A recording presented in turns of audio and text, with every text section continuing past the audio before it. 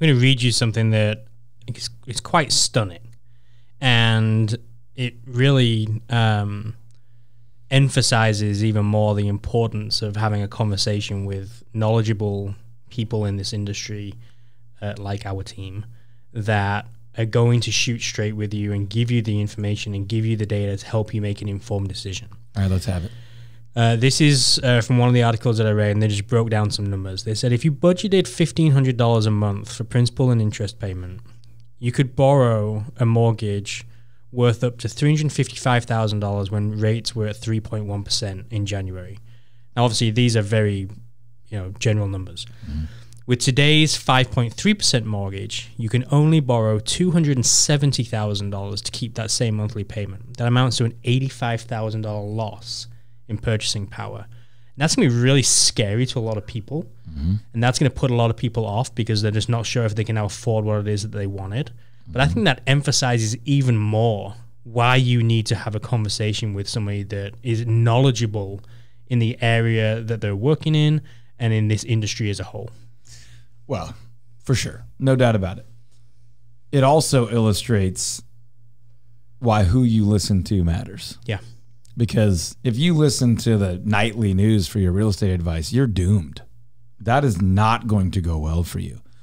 If you have a local expert, and again, let's throw all the false modesty aside, our team is excellent at what we do. And if you need a real estate agent, you're crazy if you don't at least talk to one of our team members. You can compare to whoever you want, but you need to talk to people that are writing best selling books and educating agents all over the country and have a track record of massive success and who don't accept every client that look for the right fit and deliver a world class value. That that's a no brainer to me, but that is not the common approach out in the marketplace. It's go with your nephew who just got his license, do him a favor. It's go uh, with somebody you went to college with, even though you know they're not full time and, and you know they're not excellent, but you think they're they're thoughtful and kind, right?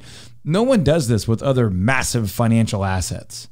No one does this with other, you might think of it as a liability. No one does this with massive financial liabilities, huge expenditures. It's just not something that intelligent people do when they've slowed down and been thoughtful. It's what people do when they follow the norm and they've, they've then what people traditionally do. So, all that to be said, if you had a conversation with our team, uh, anytime in the last at least two and a half years, we would have said to you, you've got to take advantage of these low rates and rapidly rising prices if you want, if you're financially prepared and you want to be a homeowner. We are rapidly seeing people priced out of home ownership. And now we're here, and it's only going to get worse, at least for a while, to where if you're an entry level home buyer, and in January you could have bought a 350 something thousand dollar house, and now you can only avoid afford 230 something or whatever the math was, 280 something. There are no houses in that price range in the most of the places that our buyers want to want to buy. That's rough news to take. Yeah.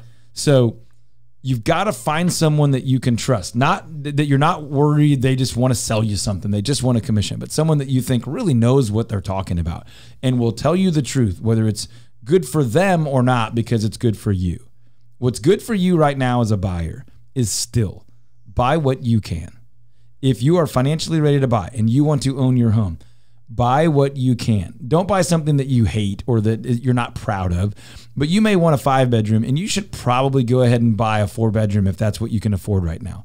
Because getting into the game of real estate in North Texas is going to be an excellent investment for the next 50 plus years. It just is.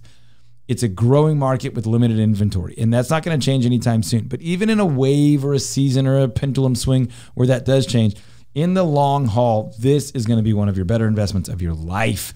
And if you wait too long and you're too picky and you're too entitled, you are going to miss out on a massive wealth building opportunity.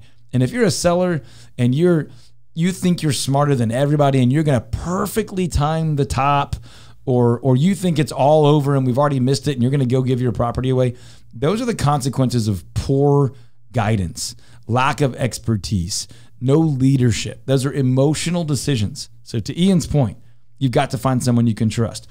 My hope is that we've earned your trust here through our show and through our commitment to our neighbors and our clients in the past. If not, give us a check. Check us out 214 310 0008 for the Todd Tramonte home selling team, or go online to toddtramonteteam.com.